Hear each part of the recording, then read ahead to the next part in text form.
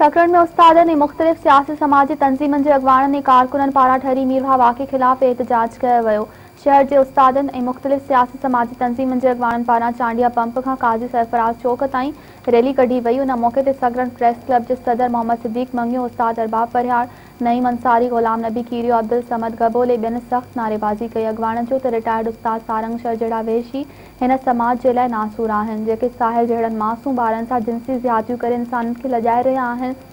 हुन जो सिंध में केतिरा ई अहिड़ा रहनि था, पर उन्हनि रियासत को बि तहरुक नथी वठे।